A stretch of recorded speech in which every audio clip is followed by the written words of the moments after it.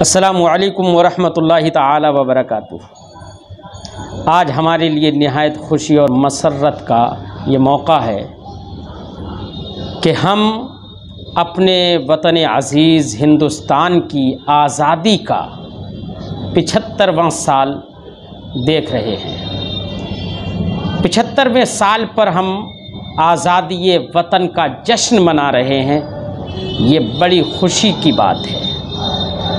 अल्हम्दुलिल्लाह, इस्लाम अपने मानने वालों को, मुसलमानों को अपने वतन से महब्बत करने का हुक्म देता है। हमारे नबी सल्लल्लाहु अलैहि वसल्लम ने अपने वतन से महब्बत की है। इस्लाम ने मुसलमानों को इस अपने वतन से महब्बत करने का हुक्म दिया है, मुअक्कद कर दिया है। क्यों ना हो? इस्लाम एक फितरी दीन है। वो फितरत के ख़िलाफ़ नहीं है। कुछ गैर फितरती लोगों ने, कुछ ऐसे लोगों ने जो जुल्म तशद को बढ़ावा देते हैं, जो इंसानों के दरमियान मोहब्बत का मतलब नहीं समझते, इंसानों में नफ़रतों का जहर घोलते हैं। ऐसे लोग मुसलमानों पर उंगली उठाते हैं और कहते हैं कि मुसलमान वतन से मोहब्बत नहीं करते, हिंदुस्तान से मोहब्बत नहीं करते। अगर मोहब्बत नहीं करते जनाब तो इतने मुसलमानों ने आज़ादी हिंदुस्तान के लिए क़ुरबानियाँ दी, अपनी जानों को कुर्बान कर दिया, अपने लहू को इस मिट्टी में मिलाया। बिना मोहब्बत के मिला दिया। वतन से मोहब्बत नहीं थी तो उन्होंने अपनी जानों को कुर्बान कैसे कर दिया? सुनो, वतन से मोहब्बत करना एक इंसानी फितरती शुरूर है। इस्लाम ने इसको मुअक्कद कर दिया। वतन से मोहब्बत करना एक ऐसी फितरी चीज़ है जिसको अल्लाह ने नफ्सों में रखा, जानों के अंदर रख दिया है।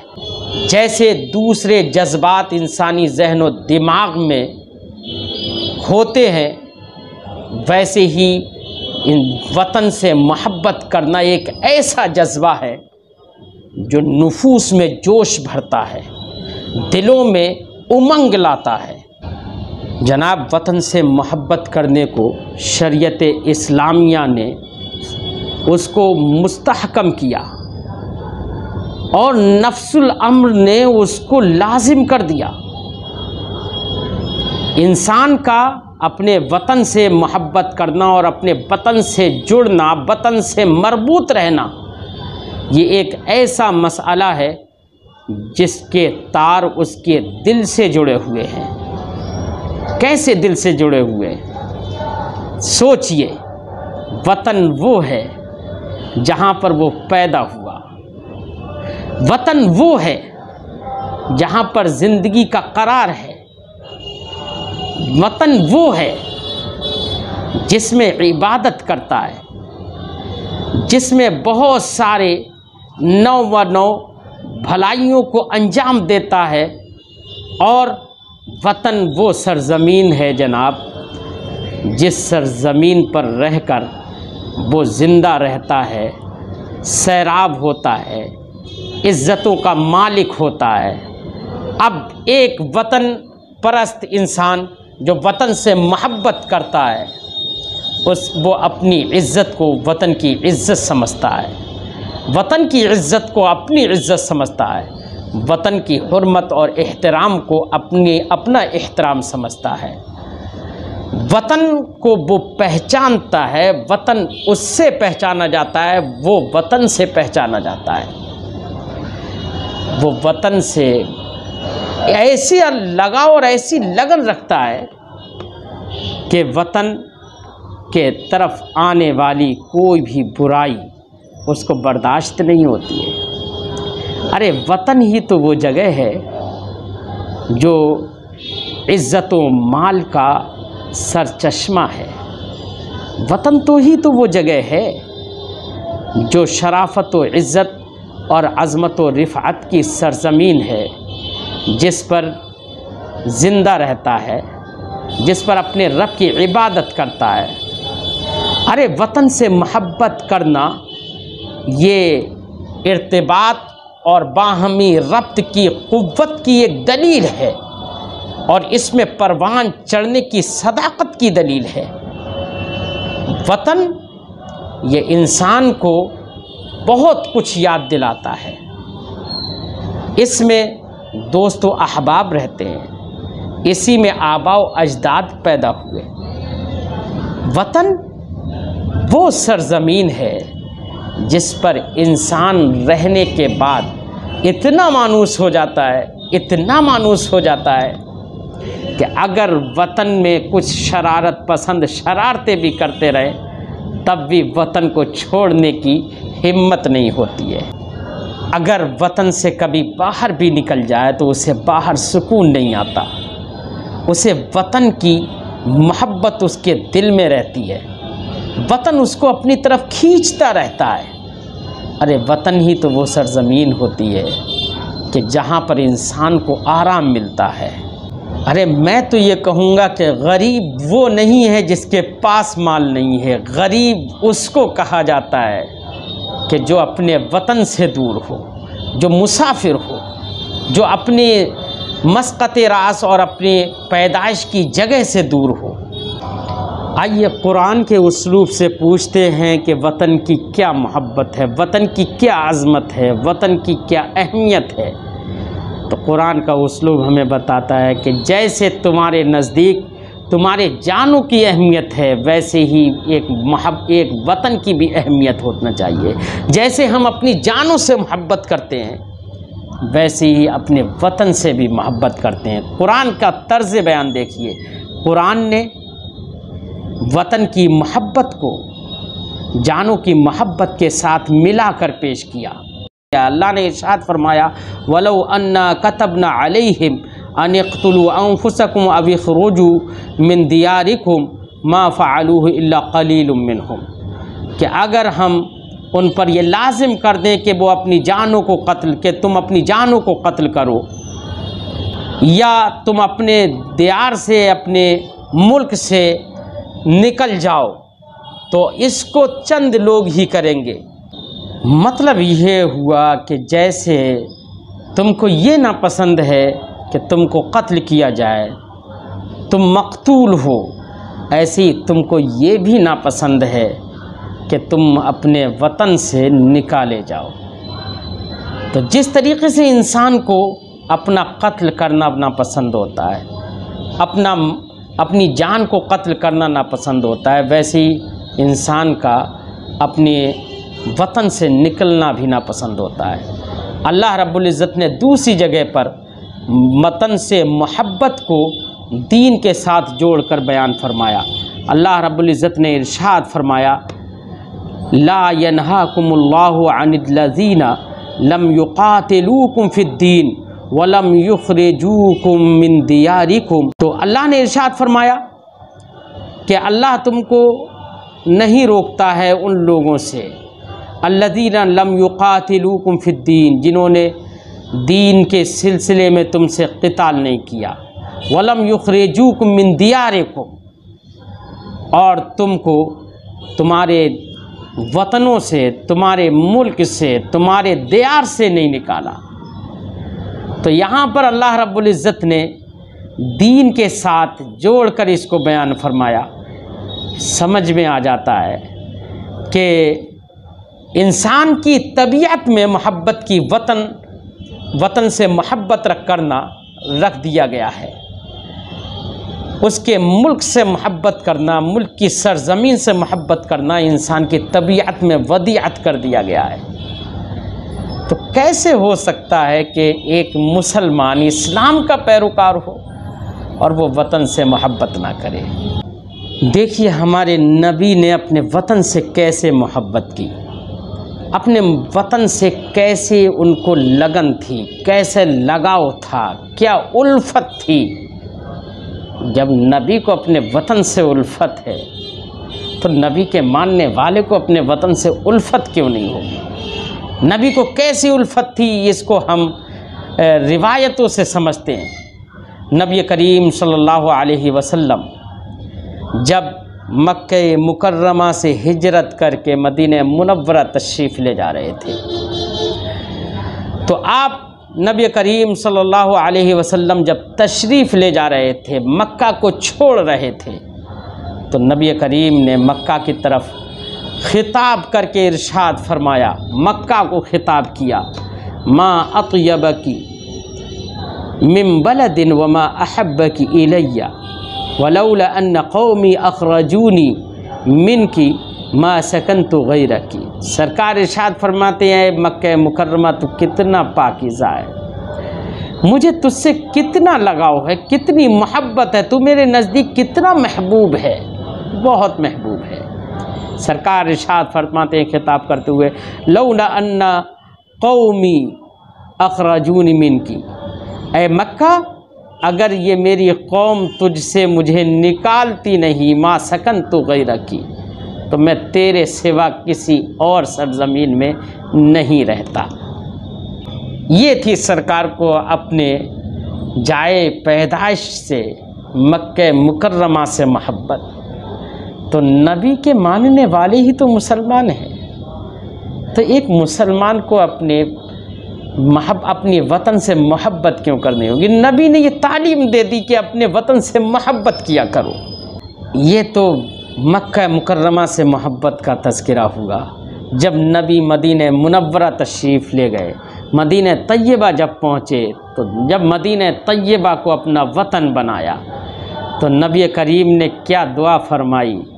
सरकार ने इरशाद फरमाया, अल्लाहुम्म हब्बिब इलैनल मदीनता का हुब्बिना मक्कता औ अशद अल्लाह, मदीने की मोहब्बत हमारे अंदर ऐसी पैदा फरमा दे, जैसे कि हम मक्का से मोहब्बत करते थे, बल्कि उससे भी ज़्यादा और ज़्यादा मोहब्बत हमारे दिलों में पैदा फरमा दे।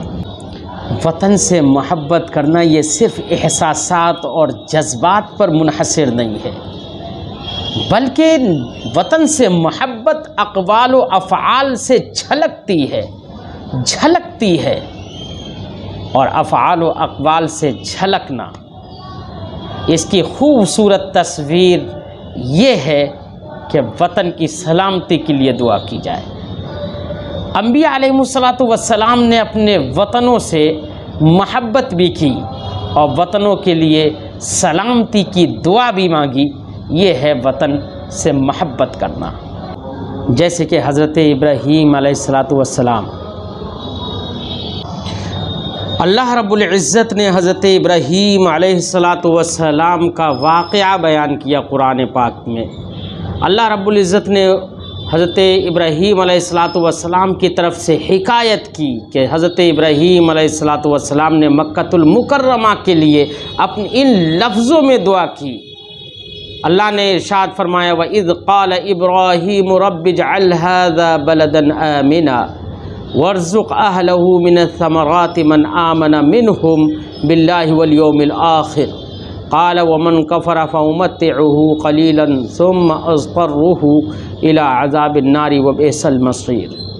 हज़रत इब्राहीम अलैहिस्सलाम ने मक्के मुकर्रमा के लिए दुआ फरमाई, उस सरज़मीन के लिए दुआ फरमाई जहाँ पर अपने बेटे को और अपनी बीवी को छोड़ा था। उस सरज़मीन के लिए दुआ फरमाई और सिर्फ़ सरज़मीन के लिए दुआ फरमाई। क्या दुआ फरमाई? अल्लाह के अल्लाह के नबी हज़रत इब्राहीम ने इरशाद फरमाया रब जलहाद बलदना मिन अल्लाह इस मुल्क को अमन वाला बना।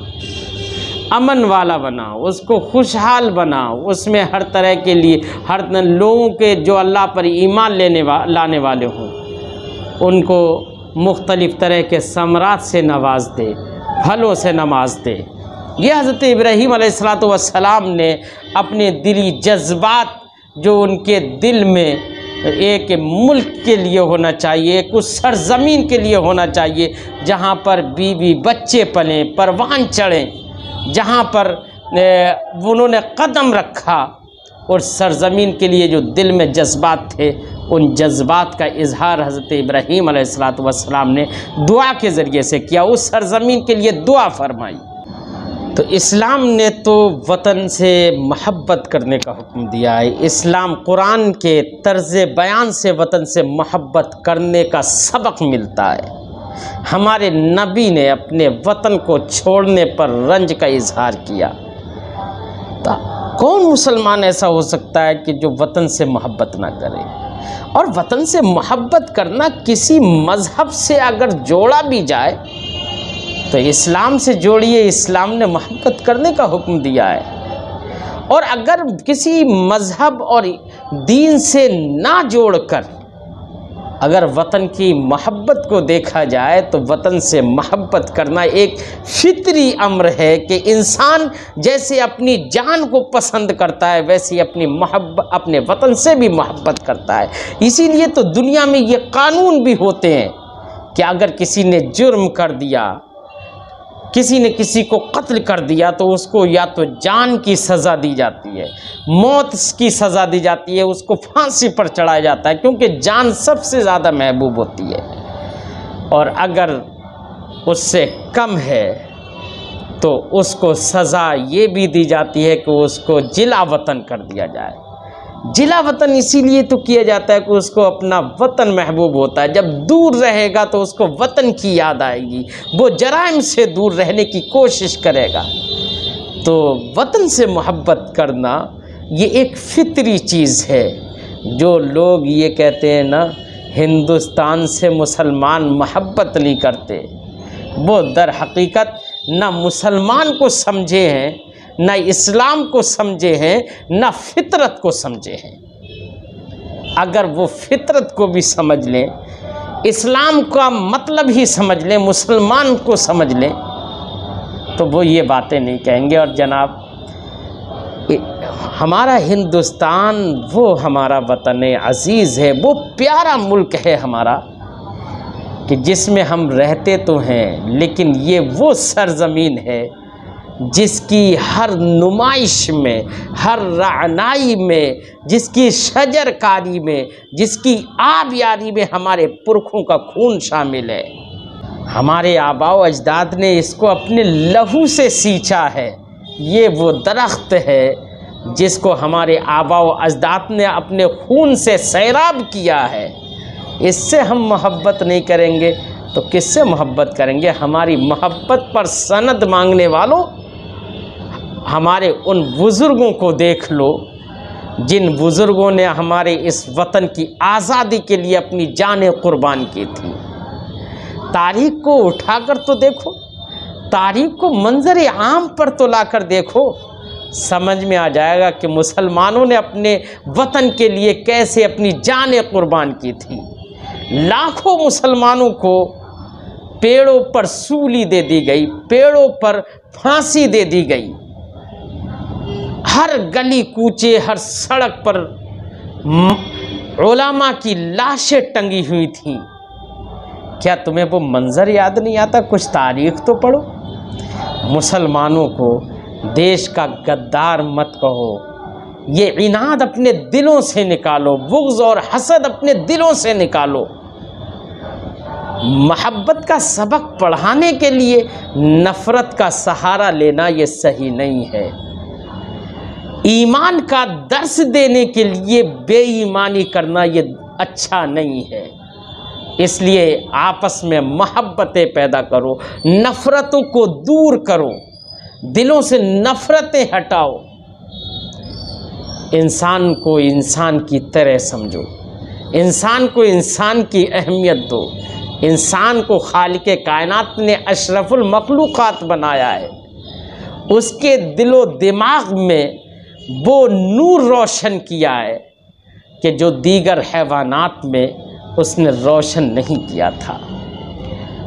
मुसलमानों को, मुसलमान देश के वफ़ादार हैं, उनको गद्दार मत कहो। नफ़रतों का जहर मत घोलो। आखिर में इतना कहना चाहता हूँ, वतन की मोहब्बत का मुझसे इम्तिहान ना लो। मैं कौन हूँ ये पूछ कर मेरी जान ना लो। नाजो फ़ख्र है हमें भी इस सरजमी पर। ये मेरी भी ज़मी है, इसका आसमां ना लो। खून वफ़ा हमारी रगों में भी है छुपा। खुदारा हमसे हमारी ये तारीख़ दास्ता ना लो। जज्ब जाँ फिदा है इस खाक दिल नशी पर। ये जान है हमारी, हमसे ये जहाँ ना लो। सारे ज़माने में हमारी यही पहचान है। इस ज़मीन हिंद से हमारी ये पहचान ना लो। जो दिन का रात से है, रूह का बदन से है। जो दिन का रात से है, रूह का बदन से है। वही ताल्लुक़ ख़ातिर मेरा वतन से है।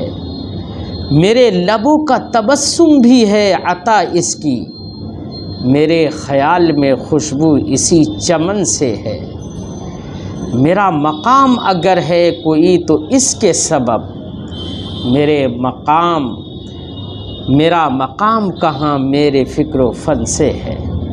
तो हमारे वतन अज़ीज़ हिंदुस्तान से हमारी महब्बत का इम्तहान ना लो। हम वत, अपने वतन अज़ीज़, अपने वतन हिंदुस्तान से वैसी ही मोहब्बत करते हैं, जैसे अपनी जानों से मोहब्बत करते हैं। हम इसको छोड़ना नहीं चाहते, हम अपनी जानें कुर्बान करके इसी सरजमीन में दफन हो जाना पसंद करते हैं। हमारे नज़दीक यही महबूब है कि हम अपने इसी वतन की सरजमीन में रहें, ज़िंदा रहें तो इस पर रहें, मरे तो इसी में रहें।